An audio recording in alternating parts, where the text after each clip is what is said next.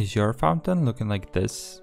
Let me fix that. First, don't break the old one because water is precious. So we're gonna place one, two, three in one direction and two more in the other. Raise it by two like that and one more over here. Now place stairs on these blocks, a temporary one here. Place your water bucket, break it and place a stair just like that. It's flowing everywhere, but don't worry. Place one slab up here and now around the water some slabs four tr spruce trapdoors on this side close them and four here no three here on top just like that so four oh oh oh wait one two three four on this side close them one two three break at the one you misplaced a lantern here a lantern here and maybe a few tables here and here for some more decorations and there's a new fountain thank you